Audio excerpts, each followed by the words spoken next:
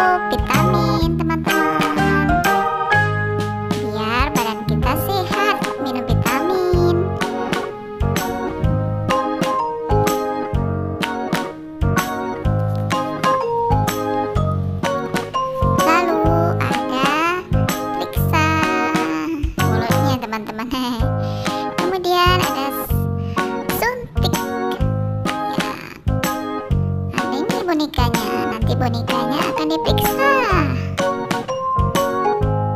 Ini periksa suhu tubuh teman-teman. Kalau kita demam letakkan